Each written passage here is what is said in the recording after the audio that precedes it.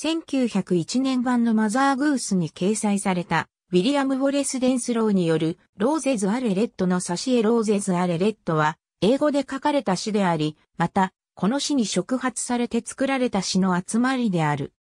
Roud Folk Song Index の19798番に収録されている。この詩は一般に愛を伝える常套句として使用される。この詩の現代における最も一般的な形は以下の通りである。日本語訳詞の起源は少なくともエドマンド・スペンサーが書いた1590年の女児詩、妖精の女王の次の詩まで辿ることができる。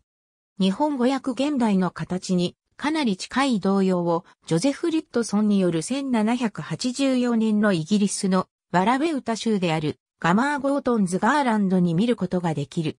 ビクトル・ユーゴーはスペンサーに精通していたと思われるが、1862年に小説、レ・ミゼラブルを出版した時、英語の童謡は知らなかったかもしれない。ユーゴーは小説家というだけでなく詩人でもあり、彼の小説の中には多くの歌が載せられている。レ・ミゼラブルの登場人物であるファンティーヌによって歌われた詩には以下の一節がある。最後の二行の元のフランス語による文章は以下の通りである。